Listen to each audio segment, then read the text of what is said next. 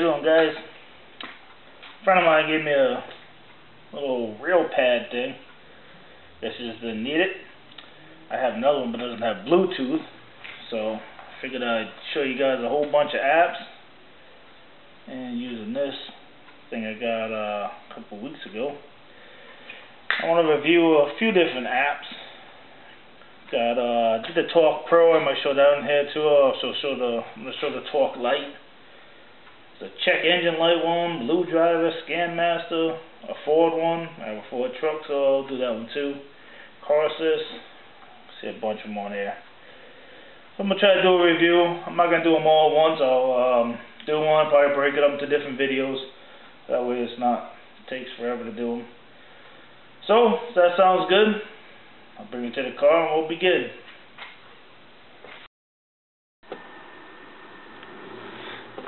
Alright, here we go. Sitting in my Ford Expedition. This uh 2000. 2000 Ford Expedition. Um, did one on the Torque, a regular Torque before, so I figured I'd do the Torque Lite. To see the difference, that we can contrast it with my other video. So this is the Torque Lite. I have not actually tried this yet, so we're gonna be the first. As all these, I'm just gonna get in here and see what it does.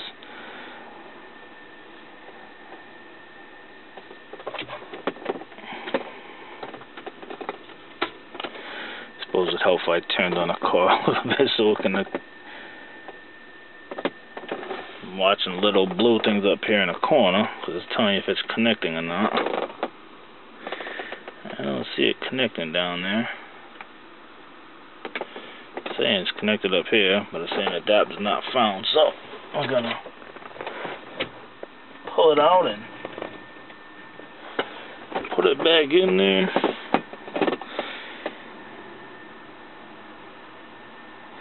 Hopefully I can find it.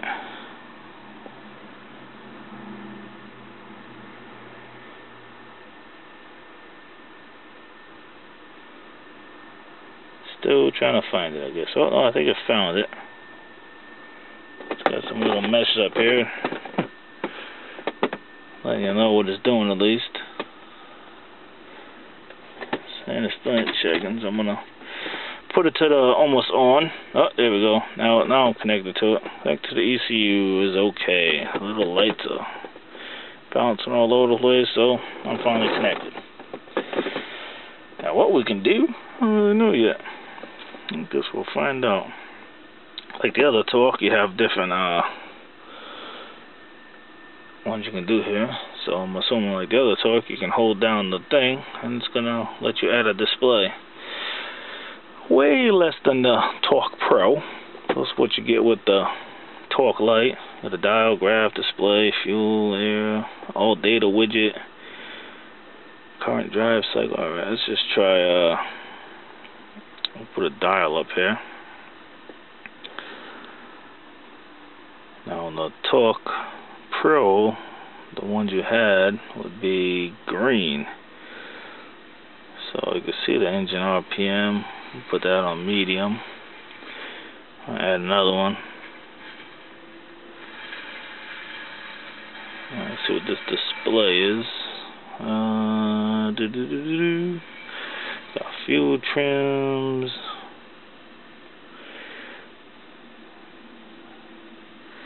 Let's do the old 2 one there.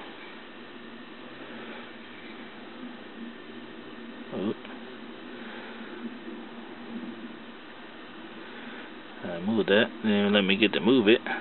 Put that up there. Um, I'm gonna go ahead to this uh, little cog. See what's in there. Alright, so now you got the fault codes, add a display, email logs,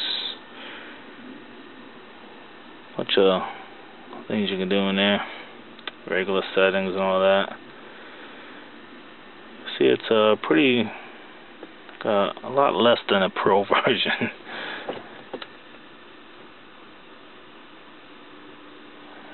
so they're to show the log.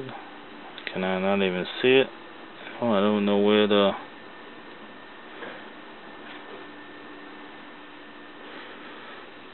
I just hit the show pending faults. There should be none on here, but and it does say no pending ones. So that's how you would do it. So you can clear them with this. If you go into the fault codes. So if you just want to clear codes, whatever, show the codes, you can clear the clear the log fault, follow the fault codes. So you need to don't have none, so can't really clear any.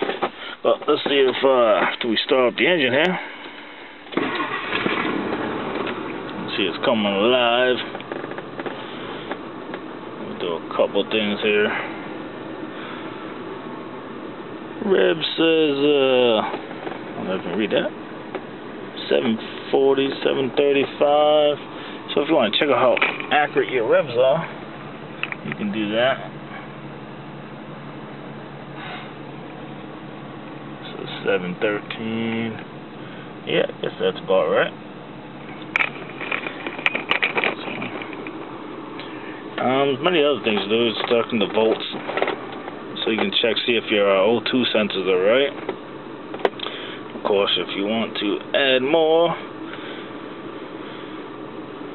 oh, there's an all data widget, which actually is, okay. The other version kind of lets you move it before it just puts it. Although I don't see the all data code doing anything. Not sure what that was supposed to do.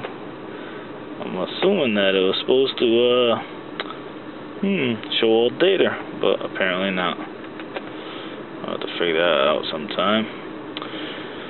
Fuel air status widget. There we go. Closed loop. Use an O2 sensor for fuel mix.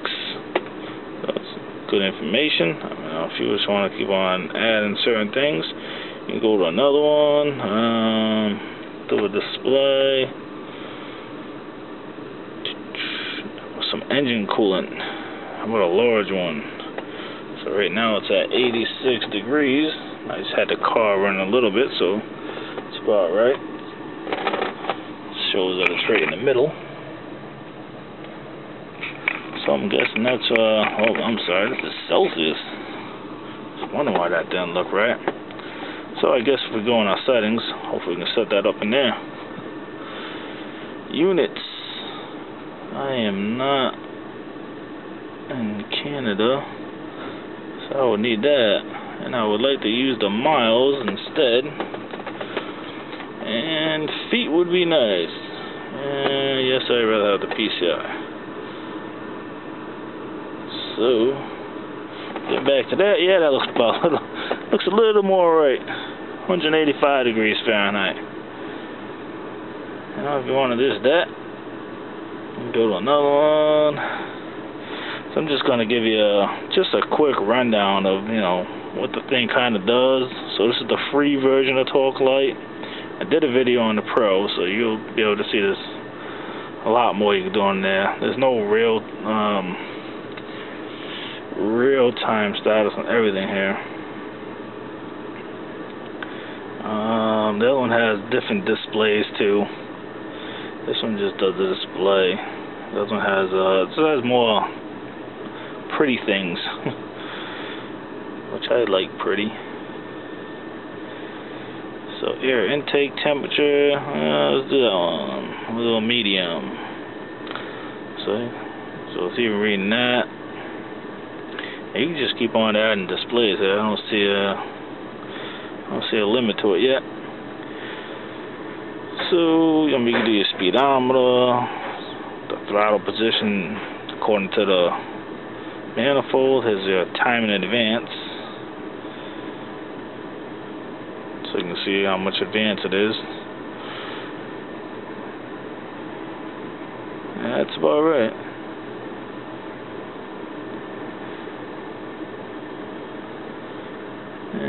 If want to do a graph, I guess not everything does graph, so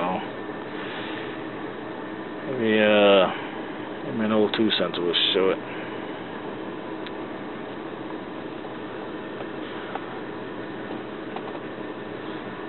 So it's graph, no worries. It's actually not a bad thing for to do an O2 sensor. That way you can see uh, pretty much where it's gonna be. Might do that on the Pro version next time. So if you don't like that split, go to the next one. It's starting to get boring here, so I'm going to speed it up. Just show you really quick everything it has. I don't, I think my guess, because it's little, got the little stars next to the ones, those are the ones you probably can use, and we'll do the ambient temperature, and we'll find out. Let's see what that does. No data. So, I will assume that the ones that have the little star next to it is the ones that you can use. In the Pro version, it actually comes up all green, so you find it right away. And on the Pro version, I think there's more stuff you could choose from. Not positive on that, but this is this list looks a little shorter than the other one. And look, fuel pressure. Oh, ain't getting no data on that though. Hmm. Well, that's not might not be true what I just said. You'll have to play with that to figure that out. So many things in here I could never be able to go over everything. This is a current drive status. Oh, that's not supported though.